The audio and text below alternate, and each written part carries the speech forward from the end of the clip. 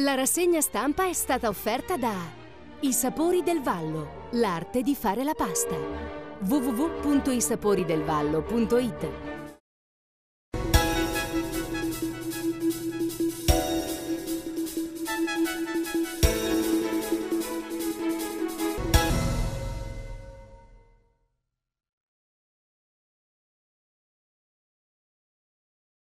Buongiorno e bentrovati con la nostra rassegna stampa, oggi venerdì 26 febbraio. Partiamo come di consueto con i titoli del mattino.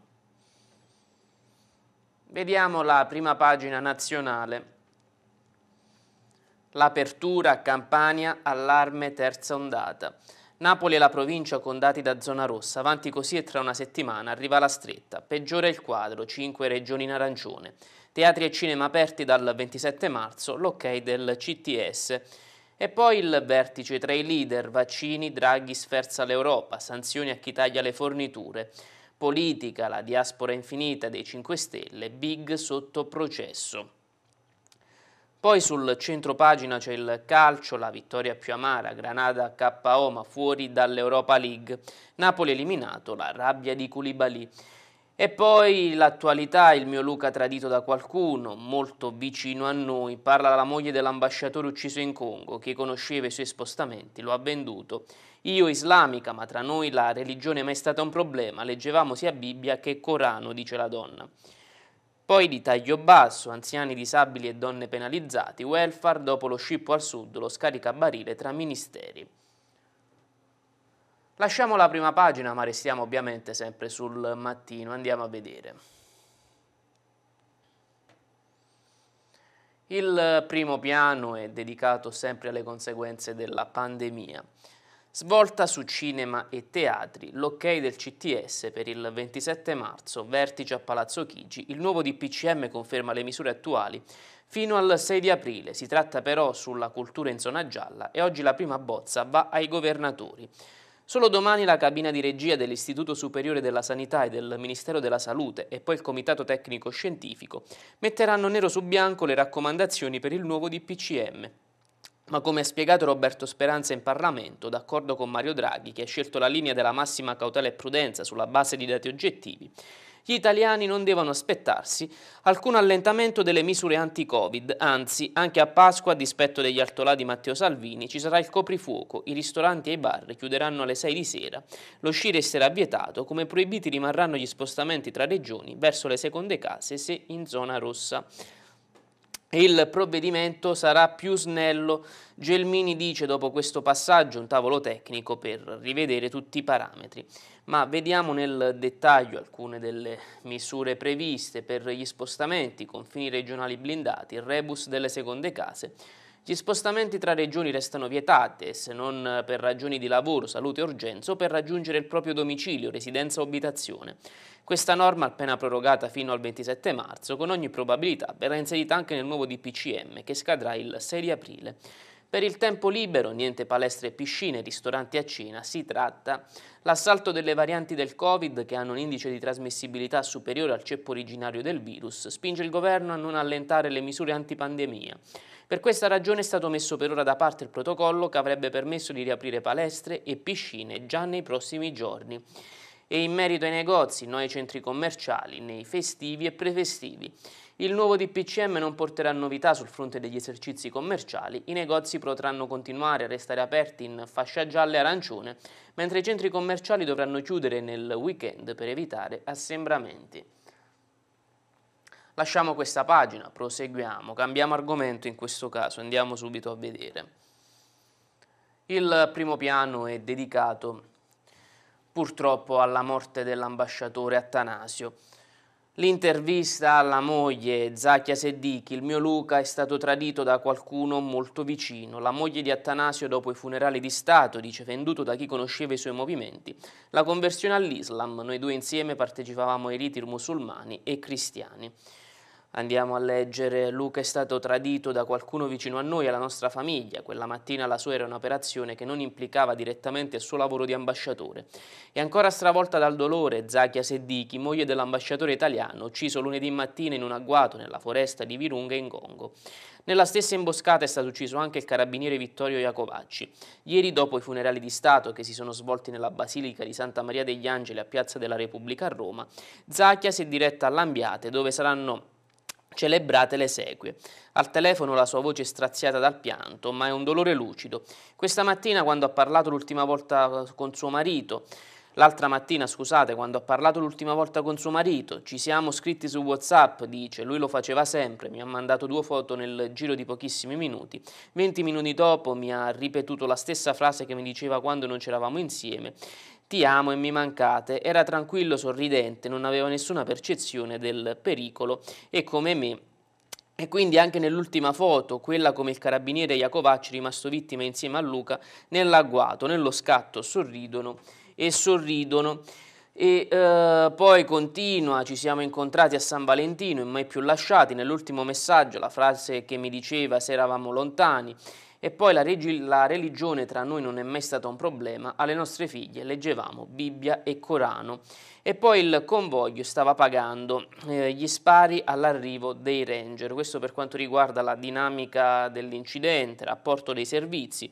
Su quella strada è abituale la richiesta di un pedaggio, il conflitto a fuoco è arrivato per un imprevisto. Ora invece andiamo a dare lettura della prima pagina dedicata a Salerno e provincia. L'apertura è dedicata alla pandemia da Covid, l'anno dei 570 morti. Terza ondata, cresce l'allarme, ieri altri 393 infetti, a Salerno muore ispettrice scolastica. Il 26 febbraio del 2020 il primo contagio nel Salernitano, la biologa di Montano, poi 45.000 positivi e poi c'è l'intervista a Luigi Greco, errori a catena nella prima fase. Sempre di taglio alto per quanto riguarda Confindustria, Ferraioli leader nel segno della crescita sostenibile. Di lato invece l'emergenza, variante inglese, incubo nell'agro, nuove restrizioni ed SOS vaccini e poi c'è la solidarietà. Tamponiamoci con il Rotary 600 test gratuiti nelle parrocchie. Sul centro pagina c'è la Serie B, Salernitana senza turnover, in campo chi sta meglio, alle 19 il match a Reggio, niente calcoli. E ancora c'è il capitolo scuola, boom quarantene, chiude anche il De Santis, in isolamento 55 prof e 45 studenti, salti mortali per le lezioni in classe, l'allarme dei presidi intanto, siamo a rischio, serve il siero e la denuncia bimbi autistici, assistenza a ostacoli, noi genitori in baria, dei burocrati. Di taglio basso il sindaco che vorrei, una figura rassicurante e vicina ai più deboli, Marianna Bassi, funzionaria pubblica e scrittrice. E poi la cittadinanza Charles, in fuga da guerra e fame, ora si occupa dei rifugiati. Ora invece andiamo a dare lettura della prima pagina del quotidiano La Città.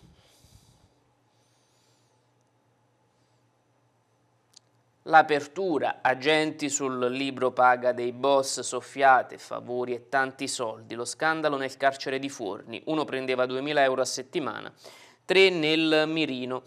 E poi di lato vaccini Covid, altre quattro sedi nei quartieri, a Salerno dove c'è boom di case al liceo, De Santis chiuso, a Rocca d'Aspide invece anziani sui pulmini per immunizzarsi, a Montanantilia un primo positivo, un anno in trincea. Poi per quanto riguarda Agropoli, ragazza finisce nel profilo hard, identità rubata, mentre a Deboli Cariello in aula, cava parte civile nel processo. Nel Vallo di Diano, poi a Polla, chiede il pizzo all'imprenditore, preso un ventunenne. Di taglio basso si parla di Salernitana, stasera contro la Reggiana. Esame di battaglia, Castori dice, polemica su quel 3-0 a tavolino, non mi interessa. In Serie C intanto si registra un focolaio alla Cavese la Lega Pro rinvia la gara. Lasciamo anche la città, andiamo a vedere la prima pagina del quotidiano Le Cronache. Anche in questo caso il titolo di apertura è dedicato alla pandemia, anzi alle conseguenze della pandemia. Salerno, chiuso anche il liceo De Santis, allarme terza ondata. De Luca con altri governatori chiede lo stop alle elezioni in presenza. Il governo dice no. Le misure del nuovo DPCM, una speranza per cinema e teatri riaperti dal 27 di marzo. Dopo il virtuoso altra scuola fermata dal sindaco. E poi ancora elezione avvenuta all'unanimità, ufficiale Ferraioli presidente di Confindustria, prete, anni ricchi di sfide, sempre al fianco delle imprese. Poi c'è il fatto nel processo Cariello, in campo i comuni di Eboli e Cava dei Tirreni. E per quanto riguarda il calcio, anticipo della settimana, venerdì Granata a Reggio Emilia per continuare a vincere. E noi ora ci fermiamo per qualche minuto di pubblicità, però torniamo tra pochissimo con la seconda parte della nostra rassegna stampa, tra poco. Ben ritrovati con la seconda parte della nostra rassegna stampa. Ripartiamo dal mattino e dalle pagine dedicate a Salerno e provincia. Andiamo a vedere. Si parla ancora di epidemia e di conseguenze sulla scuola. Chiude anche il De Santis, boom di contagi e quarantene, i presidi dicono siamo a rischio, fuori gioco 55 insegnanti e 45 studenti, organizzare le classi, ora è un rompicapo. Salti mortali per la didattica in classe, vaccini sono la soluzione, ma tardano. E poi stop al liceo classico dopo il virtuoso, la guida. È una scelta per la sicurezza, Carrafiello, sarà meglio tornare subito alla DAD. Poi a eh, Capaccio Pestum Alfieri ferma tutti gli istituti fino al 6 marzo, sono chiuse e didattica a distanza per tutti gli allievi delle scuole di Capaccio Pestum, lo ha disposto con un'ordinanza firmata ieri mattina il sindaco Franco Alfieri a seguito dell'aumento dei contagi che si sta verificando nella città dei Templi. Tra i nuovi contagiati dell'ultima settimana ci sono anche diversi studenti, di qui la decisione di chiudere a partire da oggi e fino a sabato 6 marzo. A Baronissi un alunno positivo, niente presenza per altri 500. Studente positivo al Covid, l'ASL chiuse la scuola secondaria di primo grado Villari. Il sindaco Gianfranco Valiante si dice perplesso sul provvedimento che per la prima volta viene adottato per un solo contagio e condiziona invece circa 500 studenti. Ieri il dirigente medico del Dipartimento di Prevenzione dell'ASL di Salerno, comunica il primo cittadino, ha fatto pervenire al comune di Baronissi alla scuola media Villari il provvedimento di chiusura dell'intero istituto sino al primo marzo. E poi i bambini autistici e l'assistenza ostacoli, noi genitori soli in balia dei burocrati. Savo e Montera, le ore tagliate in base all'età e non alla gravità della situazione. Non è giusto, gli avvocati di questa coppia, genitori di un ragazzo autistico, dice Uh, I genitori di Gerardo hanno contattato l'avvocato Michele Capano appunto che uh, si dicono siamo sfiniti, non abbiamo più una vita e siamo lasciati completamente da soli. Avevamo diritto anche alle cosiddette ore sociali, una terapia gestita da cooperative per il tramite del comune che prevede il graduale inserimento nella società dei bambini autistici, dei parchi giochi e ai supermercati attraverso l'ausilio di figure esperte, ma lo Stato non si è mosso purtroppo ancora nulla. Lasciamo anche questa pagina, andiamo avanti, cambiamo argomento. Si parla di industria in questo caso, una crescita sostenibile per rilanciare l'economia. Il neopresidente di Convindustria Salerno, investiamo anche in senso di appartenenza. Nella nostra provincia l'export ha retto il punto di forza, agroindustria con indotto. Andiamo a vedere nel dettaglio la forza di un'impresa e il capitale umano, ecco perché occorre investire non solo in formazione ma in motivazione di appartenenza. E Antonio, Antonio Ferraioli, neo eletto presidente di Confindustria Salerno, a spiegare uno ad uno non solo quelli che per lui sono i valori su cui deve basarsi la cultura d'impresa, ma anche il giusto atteggiamento che l'economia locale e nazionale deve avere in questo momento storico, affinché si arrivi per aspera ad astra. Ferraioli è presidente ed amministratore delegato del gruppo industriale La Doria, il primo produttore europeo di legumi conservati, di pelati e polpa di pomodoro. Il suo capitale umano nel gruppo è pari a circa 750 dipendenti fissi e circa 1000 stagionali. E poi ogni, mm, eh, ogni, crisi, ogni momento di difficoltà porta alla luce quelle che sono le caratteristiche prioritarie da cui partire per la ripresa. Adesso dove si può arrivare? Secondo il eh, Presidente, questa è la domanda fatta da uno dei presenti alla cerimonia, e il Presidente ha detto la maggioranza delle nostre imprese ha carattere familiare, questo rappresenta un grandissimo valore, tutti gli studi confermano che le imprese familiari performano meglio rispetto alle altre, ma questo valore si preserva e si riesce a separare a far prevalere l'interesse dell'impresa su quelli dell'imprenditore e della famiglia ed avere sempre l'obiettivo della crescita quale priorità. Credo che un modello di relazioni industriali che vede attribuire un peso maggiore alla contrattazione di secondo livello, che andrebbe ancora più agevolata con un vantaggio fiscale, sia quanto mai necessario per migliorare la produttività e avere un maggior legame dei salari ai risultati aziendali. E c'è stata dunque una elezione digitale con voto unanime, sinergia con istituzioni e sindacati. E poi il leader nazionale Bonomi dice il paese riprende a sognare, Napoli avverte, ci attendono sfide complesse. Ora lasciamo anche questa pagina e andiamo a dare lettura della pagina dedicata alle aree interne della provincia a sud di Salerno. Andiamo a vedere. Per quanto riguarda la cronaca giudiziaria, Cariello a processo, anche Cava e parte civile, i giudici della seconda sezione penale del Tribunale di Salerno accolgono le richieste di costituzione di parte civile dei comuni di Eboli e Cava dei Tirreni con gli avvocati Sofia e Farano e aggiornano l'udienza al prossimo 8 marzo. L'ex sindaco Massimo Cariello è la prima della partita più importante, il processo con rito immediato, che lo vede coinvolto come imputato con le accuse di abuso di ufficio e corruzione per atti contrari ai doveri d'ufficio in concorso con altri imputati, per i quali si procederà separatamente, contestati dal PM inquirente Francesco Rotondo della Procura di Salerno.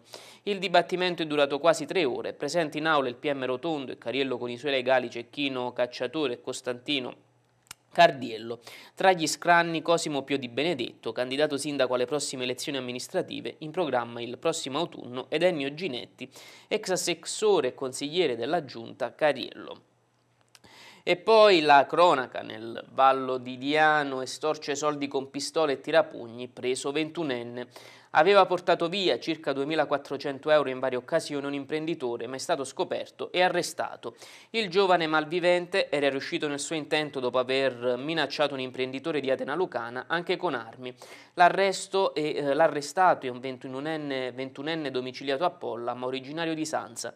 I carabinieri di Sala Consilina, guidati dal capitano Paolo Cristinziano, nei giorni scorsi hanno notificato il decreto di fermo per il giovane, già noto alle forze dell'ordine, ritenuto responsabile di estorsione, rapina e porto abusivo di strumenti atti ad offendere. Lasciamo anche questa pagina, andiamo a vedere ora lo sport. Si parla di Salernitana come sempre, Serie B, noi siamo in crescita, ora nessun turnover, Castori cerca continuità con la Reggiana, voglio l'intensità dimostrata contro l'Ascoli, ma non dipende soltanto da noi. Non penso al loro presidente, vado al campo, a Otto Mantovani, tandem Diuric-Tutino in avanti e a Reggio Emilia. Granata contro dopo oh, il 3-0 a tavolino, Besel in difesa, mediana confermata. Dunque Reggiana Salernitana che si terrà alle ore 19, alle ore 19 di domani, sabato 27 di febbraio. Andiamo a vedere la formazione che ha in mente mister Castori. Adar Monis in, in porta, Aia, John Berre e Veseli in difesa, poi in mediana Casasola e, e Giarosischi sugli esterni, in mezzo Colibali di Tacchio e Capezzi, poi tandem d'attacco come già accennato, composto da Tutino e uh, Diuric, di fronte ovviamente come già sottolineato ci sarà l'Ascoli e ci sarà la Reggiana, scusate. Poi sempre per quanto riguarda il calcio c'è il pericolo Covid, lo spauracchio Covid, Cavesi in isolamento rinviate almeno due gare. Saltano le trasferte di Potenza e di Terni, focolaio in aumento, 23 contagiati, 15 calciatori, 8 tra staff e dirigenti, questo per quanto riguarda la Serie C. E con lo sport si conclude questa nostra rassegna stampa. Io come sempre vi ringrazio per l'attenzione e vi auguro una buona giornata. Thank you.